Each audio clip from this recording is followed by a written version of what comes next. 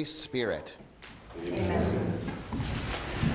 The Lord Jesus comes to us and offers his grace and love. It is good for us to repent of our sins and to plead for his mercy.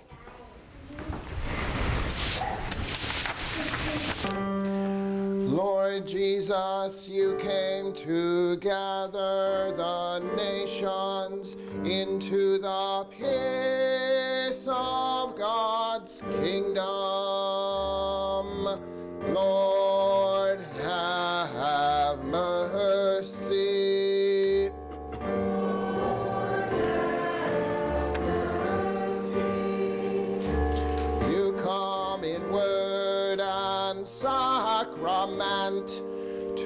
strengthen us in holiness.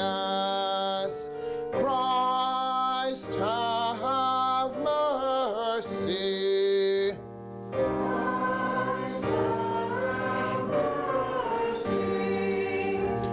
You will come in glory with salvation for your people.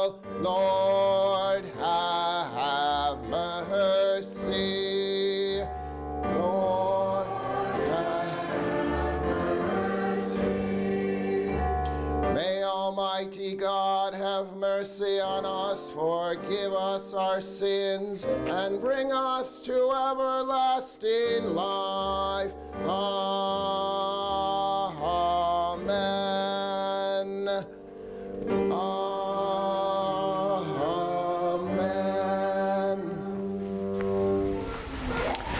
God, our Heavenly Father, has been merciful to us and has given His only Son to be the atoning sacrifice for our sins. Therefore, as a called servant of Christ and by His authority, I forgive you all your sins. In the name of the Father, and of the Son, and of the Holy Spirit. Amen. In the peace of forgiveness, let us praise the Lord.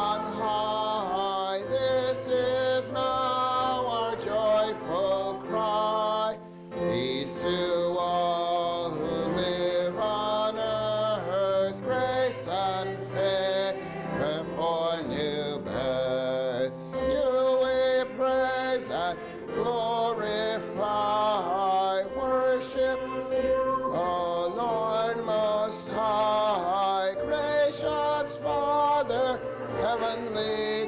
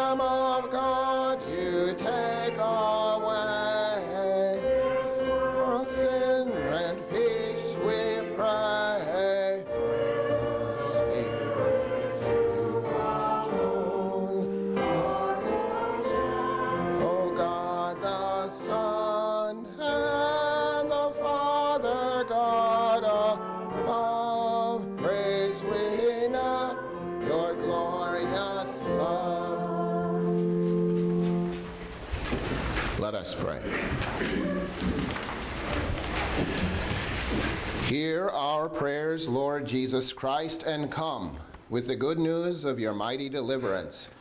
Drive the darkness from our hearts and fill us with your light, for you live and reign with the Father and the Holy Spirit, one God, now and forever. Amen. You may be seated.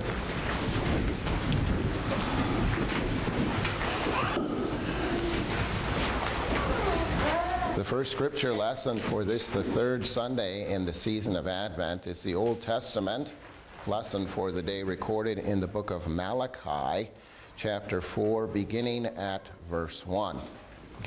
Surely the day is coming, it will burn like a furnace. All the arrogant and every evil doer will be stubble, and the day that is coming will set them on fire, says the Lord Almighty. Not a root or a branch will be left to them, but for you who revere my name, the Sun of Righteousness will rise with healing in his wings, and you will go out and frolic like well fed calves. then you will trample on the wicked. They will be ashes under the soles of your feet on the day when I act, says the Lord Almighty. Remember the law of my servant Moses, the decrees and laws I gave him at Horeb for all Israel. See, I will send the prophet Elijah to you before that great and dreadful day of the Lord comes. He will turn the hearts of the parents to their children, and the hearts of the children to their parents. Or else I will come and strike the land with total destruction. Here ends the first scripture lesson. We now hear the singing of the choir.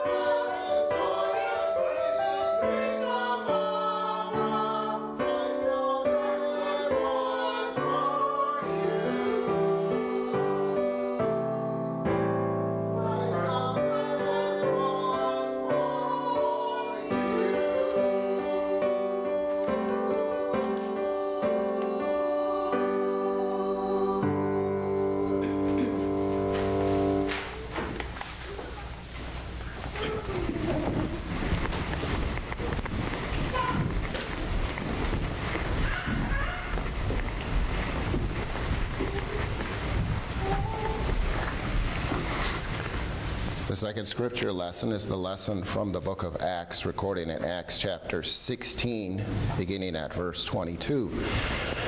The crowd joined in the attack against Paul and Silas, and the magistrates ordered them to be stripped and beaten with rods. After they had been severely flogged, they were thrown into prison, and the jailer was commanded to guard them carefully. When he received these orders, he put them in the inner cell and fastened their feet in stocks.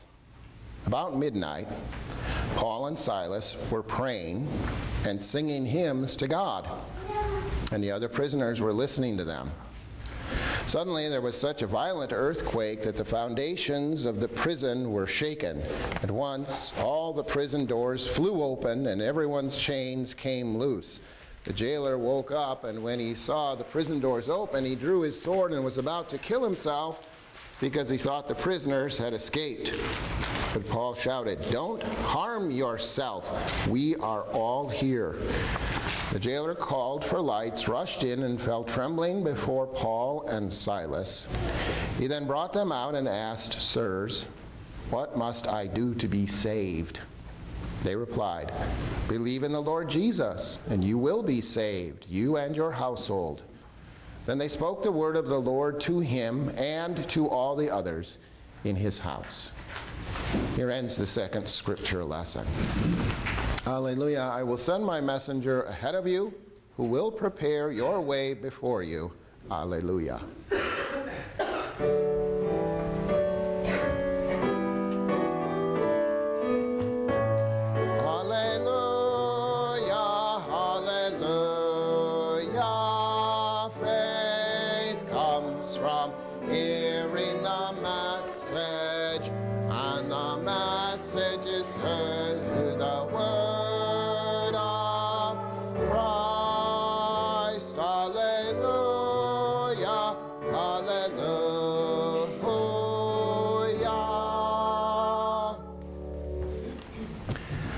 Please rise for the Holy Gospel.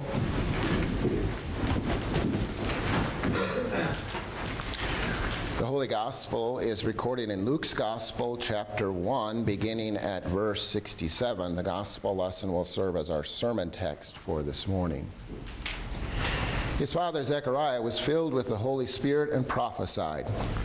Praise be to the Lord, the God of Israel, because he has come to his people and redeemed them. He has raised up a horn of salvation for us in the house of his servant David, as he said through his holy prophets of long ago salvation from our enemies and from the hand of all who hate us, to show mercy to our ancestors and to remember his holy covenant, the oath he swore to our father Abraham, to rescue us from the hand of our enemies and to enable us to serve him without fear in holiness and righteousness before him all our days. And you, my child, will be called a prophet of the Most High, for you will go on before the Lord to prepare the way for him, to give his people the knowledge of salvation through the forgiveness of their sins, because of the tender mercy of our God, by which the rising sun will come to us from heaven to shine on those living in darkness and in the shadow of death, to guide our feet into the path of peace. And the child grew and became strong in spirit, and he lived in the wilderness until he appeared publicly to Israel. This is the gospel of the Lord. Praise to you, O Christ. The hymn of the day is hymn 702 from the Christian Worship Supplement book. You may be seated.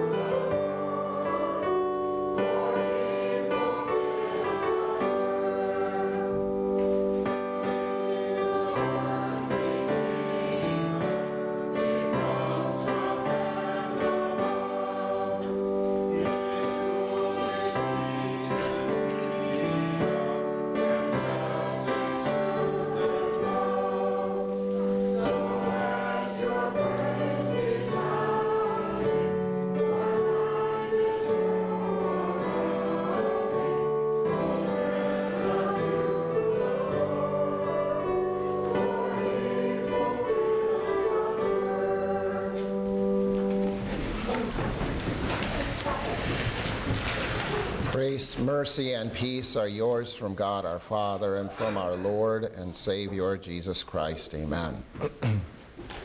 the sermon text for today is the gospel lesson recorded in Luke chapter 1. I'll read the first two verses of the text. His father Zechariah was filled with the Holy Spirit and prophesied. Praise be to the Lord, the God of Israel, because he has come to his people and redeemed them. And we pray. May the words of my mouth and the meditation of our hearts be pleasing in your sight, O Lord, our rock and our redeemer. Amen. Dear brothers and sisters in Christ, I've lived in Lake Zurich for about 14, 15 years. And I have to say that I have learned quite a bit from the people, the families in Lake Zurich. And one of the things that I've learned is how to talk. I learned very quickly in interacting with the parents of kids that were in the same class as my kids or played on the same team how to talk. Very quickly, Lake Zurich people will ask, So, how are your kids? And then, of course, you reply, but then you also chime in and say, And by the way, how are your children? I learned from Lake Zurich parents that it's almost like a contest to see who can get that question in first. And I say I learned that because it doesn't come naturally. What comes naturally for parents? You want to talk about your own kids, right? And maybe you have had this happen to you where you ask someone, how, how are the kids? And then they tell you, and that's it. They don't bother asking you, and how are your children? And you sit there kind of like, don't you want to know about me? Don't you want to know about my family? I learned this very quickly from the people in Lake Zurich how to talk, how to start a conversation, to have that contest, to get that question in as quickly as possible. Tell me about the children. Can you tell me how the kids are?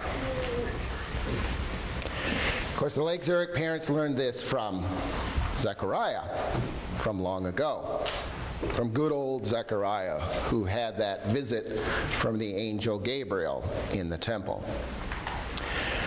Zechariah was told by Gabriel that he was going to be the father of John the Baptist despite his and his wife's old age. And Zechariah objected, How can this be? And Gabriel said, Because you did not believe me. Zechariah lost his voice for a little over nine months.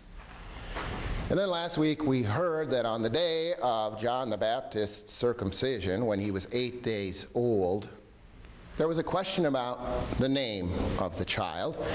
And Zechariah put an end to that question when he wrote on a piece of paper, His name is John, the name given by the angel. And immediately his voice was restored to him and in last week's text from Luke chapter 1, we learned that Zechariah praised God by probably explaining in great detail what had happened to him, the visit of the angel, and everything in connection with this child.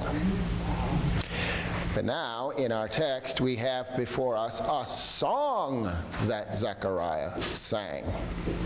It's called the Benedictus, which means bless, blessing. The word really is oilogia in the Greek. We have our English word eulogy, when you say something good about somebody. So Zechariah eulogizes, blesses the Lord. But as we take a brief look at his song, and there are so many wonderful gospel points in it to look at, let us see, talk about the kids. Zechariah talks about the kids. He first of all talks about somebody else's kid, somebody else's son. He speaks in his song about Jesus, the Son of God. First of all, he says that Jesus is the son of David. And yes, that was part of God's promise that the Savior would come from the house and line of David. And Joseph, of course, was that legal father of Jesus. And so when the time came for that census to be taken and everyone to return to their hometown of origin, Mary and Joseph traveled to Bethlehem, the city of David. The Son of God is also the Son of David. And Zechariah says, Praise be to the God of Israel because this Savior has come and redeemed his people. It's interesting to me that that's in the past tense. Jesus hasn't redeemed anybody yet. But if God says something's going to happen, it's as good as done. Kind of like what Isaiah wrote in chapter 53 of his book, 500 years before Jesus was born. He was pierced for our transgressions, he was crushed for our iniquity. Jesus has redeemed his people, and to redeem, of course, means to pay a ransom price to set someone free, and that's usually an outlandish price. Of course, the price that Jesus paid was that outlandish price of his life and his blood, his blood spilled on the ground, poured out to redeem us. I have to confess that of late, you know, whenever I need something like a tool or a piece of furniture, I always go to, let's see, Letgo, OfferUp, Craigslist, these kinds of places. And I'm always interested to find out how much something means to somebody. If somebody has a tool that I would like, and I offer them some super lowball offer, and they accept it, I know what? It didn't mean much to them. They just wanted to get it out the door. I almost respect those people who say, here's the price, and it's firm because it means something to me. And if you're going to get it, you have to pay this price. Jesus loved you so much that he was willing to redeem you, to pay that outlandish price of his very life and his very blood to redeem you, to ransom you from your enemies of sin and death and Satan and condemnation and this world. And this son of David, Zechariah calls the horn of salvation. A couple weeks ago, we celebrated Thanksgiving, and at Thanksgiving time, we have on the altar a horn, a horn of plenty, or a horn known as the cornucopia. But in biblical terms, the horn is a symbol for strength. If you have an animal and it's got a huge set of horns on it, oh boy, look out because that's a strong animal. Jesus is the horn of salvation. Though he comes weak and meek and mild and wrapped in strips of cloth and placed in a manger, he has more than enough ability and strength to accomplish your salvation. Zechariah sings about the Son of God, the Son of David. Zechariah also sings about the Son of the covenant or promise. A covenant is uh, a contract. And, you know, there are contracts like the one that was established at Mount Sinai, a two sided covenant or contract where God said, I'll be your God if you act like my people. And because that depended on sinful people, that contract was immediately broken with the worship of the golden calf.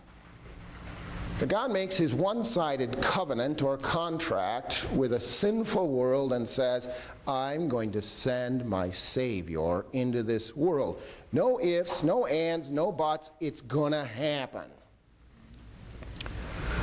Now, in our day and age, young people are often bashed, millennials are bashed for being non committal or having commitment phobia. And as I think about it, I, I, get it, you know, if you take tiny baby steps, just slowly move your way towards something instead of diving in, then a person thinks, well, that'll be easier to retract myself, extricate myself from that situation. But you know what? That's not godlike. How did God act? Did he say, you know, I, will send the Savior if conditions are right and if I'm not busy and if he doesn't feel, if he feels like it? That's not how God acted. I'm going to send the Savior. As a matter of fact, Zechariah says God swore on oath to Abraham that through his family all nations on earth would be blessed. And that family member, of course, is Jesus, and the blessing that he brings is life and salvation through his death on the cross. And since God cannot swear by anyone greater than himself, he swears by himself, declaring, I'm going to do this. Nothing's going to stop me. And finally, on the precipice of the Savior's arrival, Zechariah talks about someone else's kid, right? Talks about the Son of God, the Son of David, the Redeemer, the one who has come to rescue his people.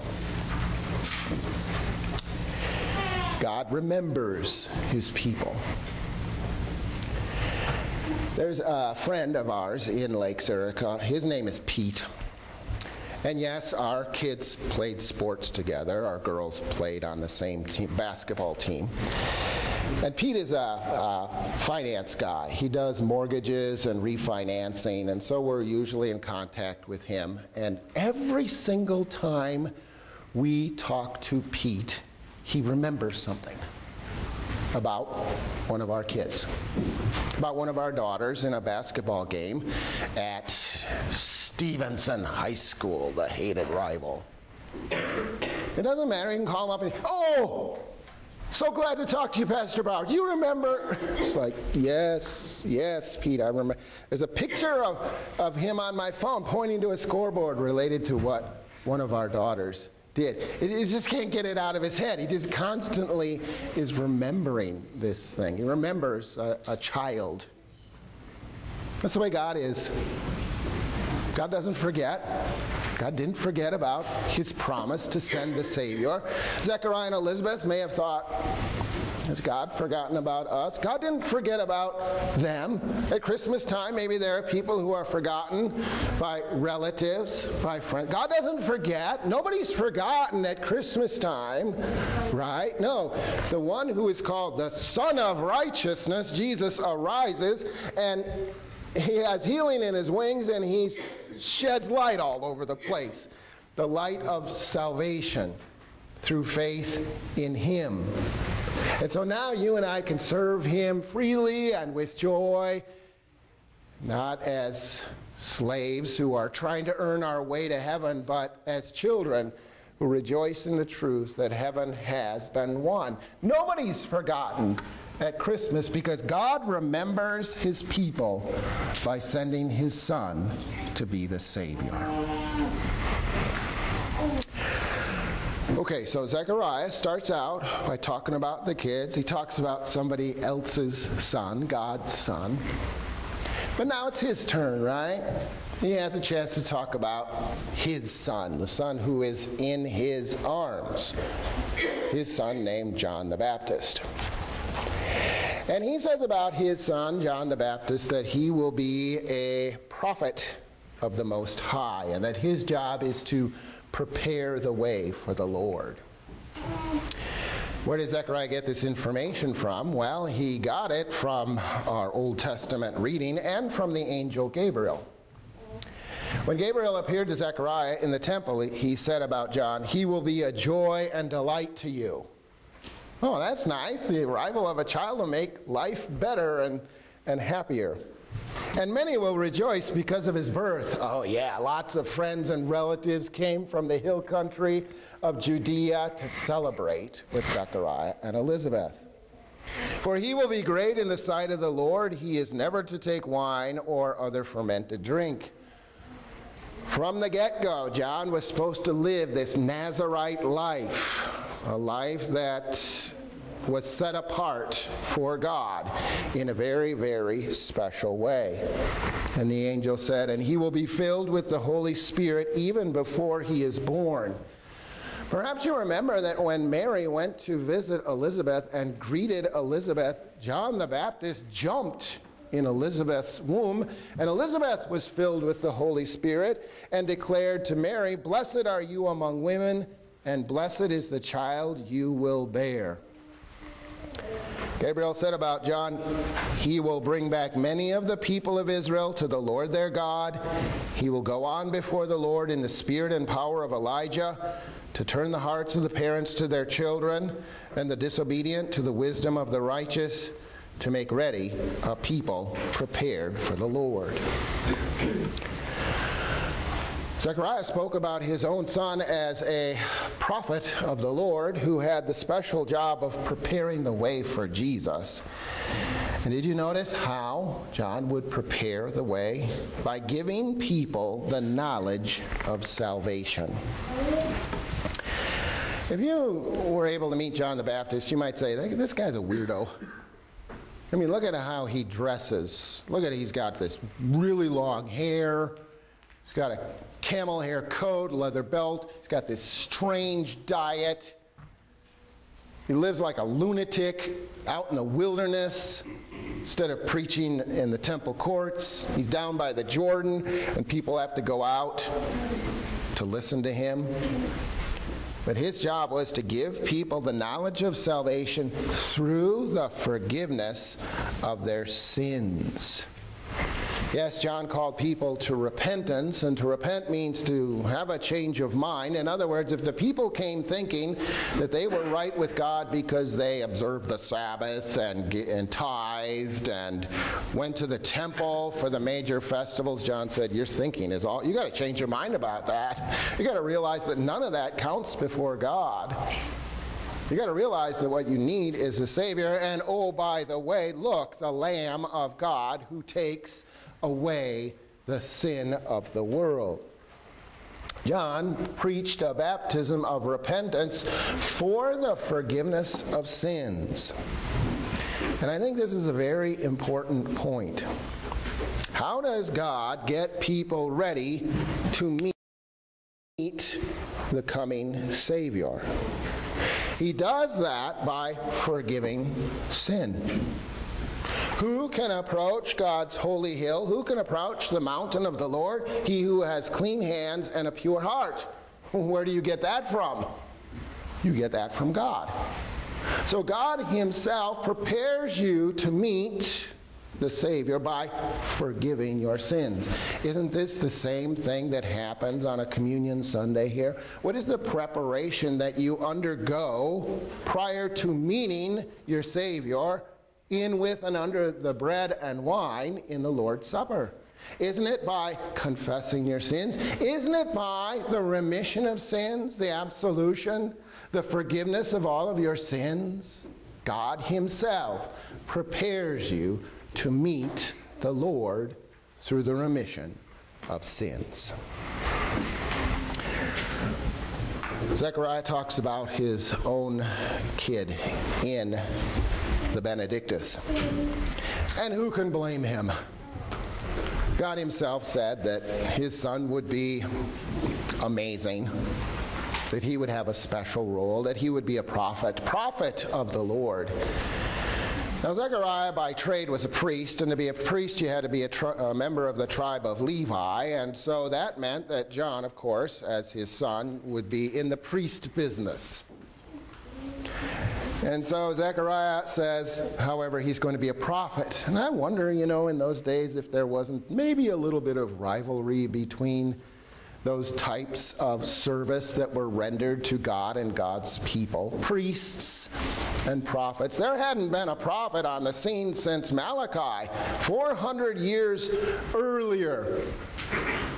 What if there was a little priest prophet rivalry going on, kind of like in our church body? Sometimes there's this friendly little rivalry between pastors and teachers, all on the same team, but you know, a little rivalry. Maybe kind of like Army, Navy, all on the same team, but you know, there's kind of this friendly little rivalry.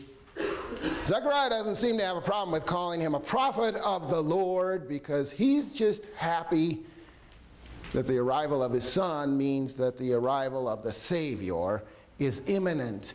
And what a glorious thing it is for him to have this small part in this plan of salvation.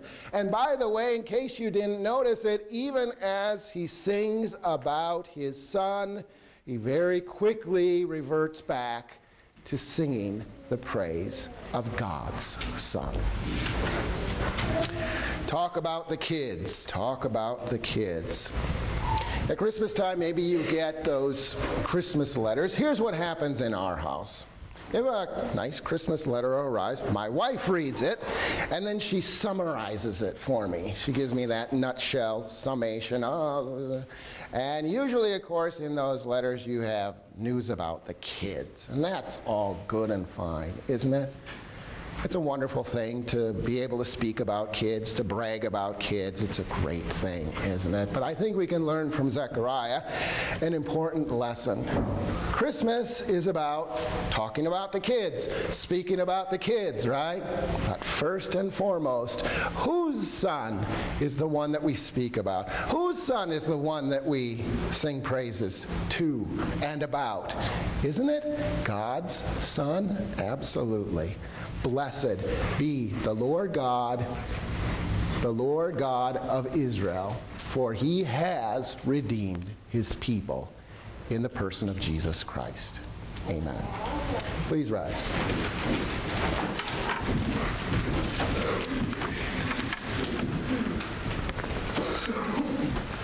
The peace of God that goes beyond all understanding will guard your hearts and minds through faith in Christ Jesus our Lord. Amen. We sing the creedal hymn.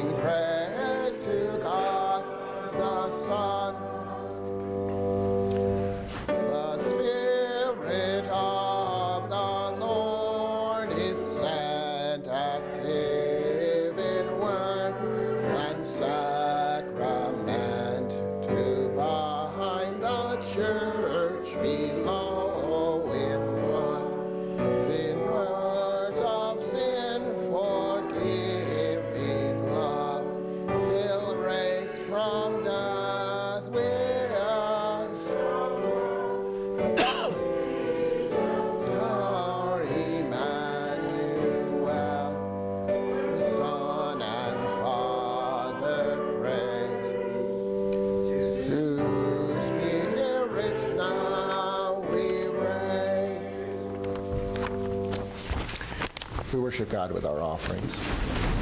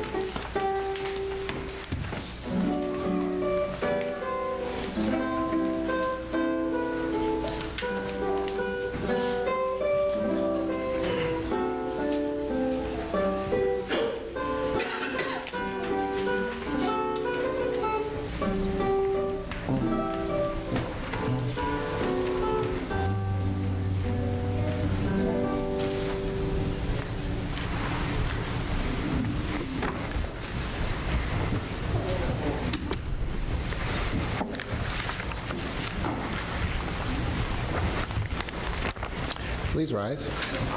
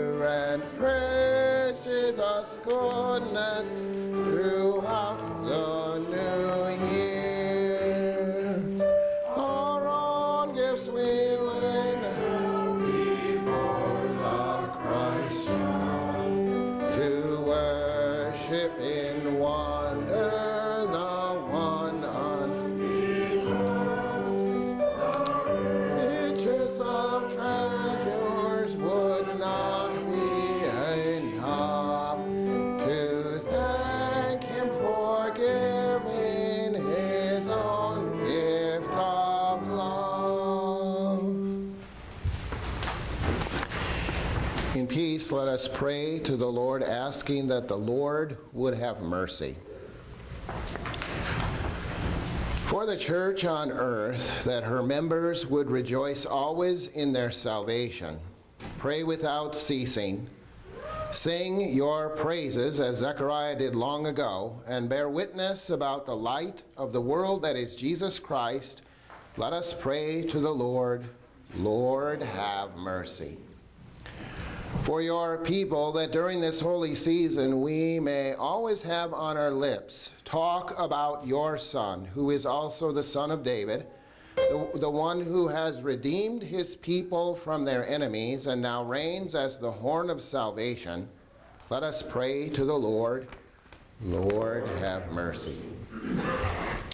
For those that God has appointed to civic leadership, that they would govern wisely, administer justice fairly, and not abuse the authority that has been granted to them, let us pray to the Lord. Lord, have mercy.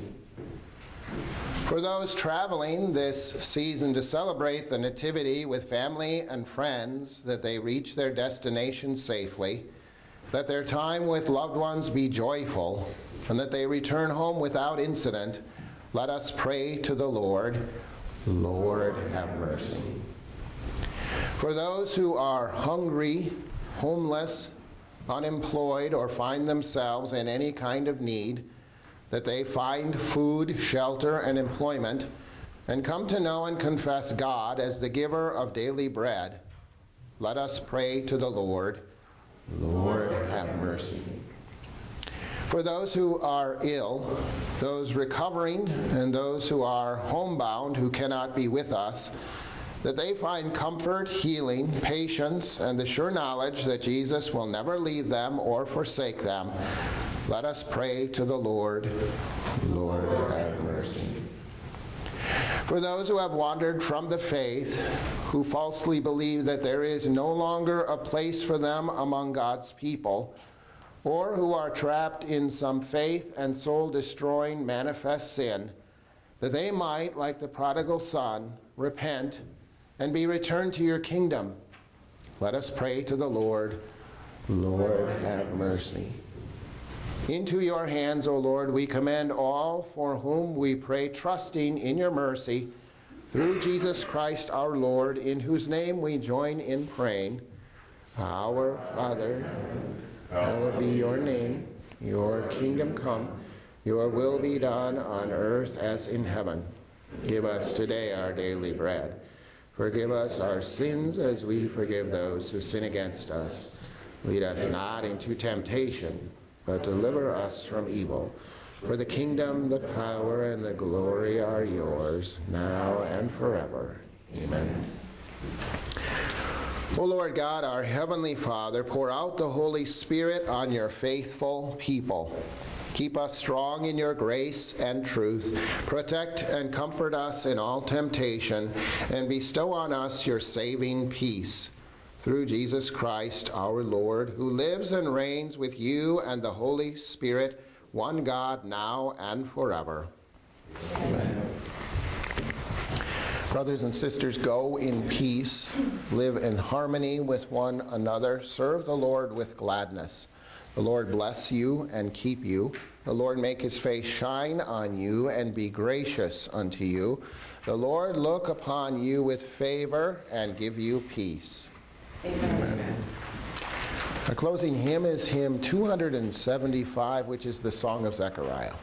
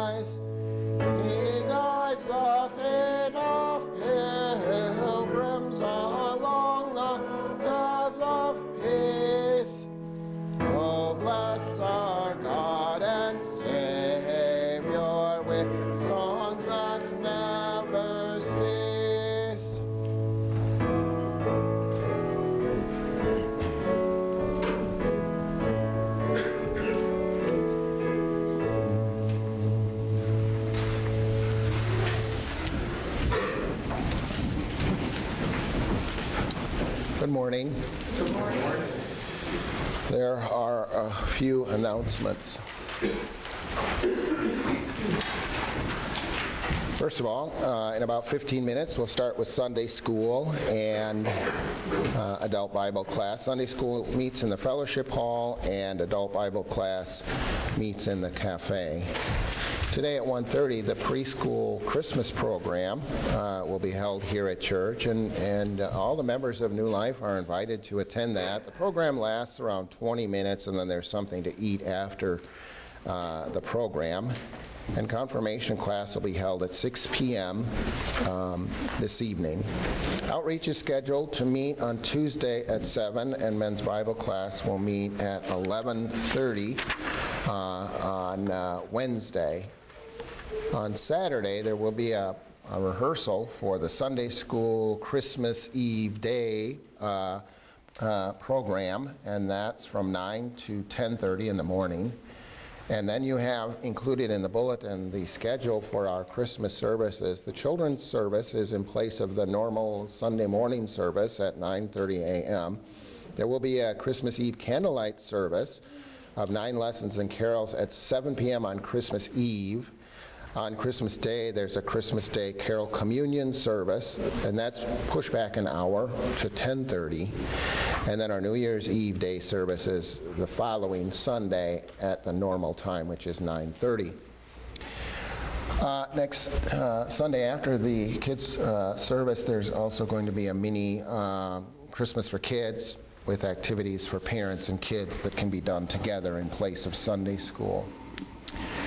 If you'd like to purchase a poinsettia for uh, adorning the Lord's chancel, there's a sign-up sheet. Uh, You can sign up and pay downstairs on the bulletin board, and today is the last day uh, for doing that. In your bulletin, you have a Christmas card that you can use to invite people to our um, Christmas services, and uh, the elder and I were talking about specific people who haven't been here for a while. And if you uh, have knowledge and remember those people, use the card and you can invite them to uh, join you on Christmas uh, to worship the newborn King. Yeah, offering envelopes for 2018 have been assigned and they're on the table in the entryway as well.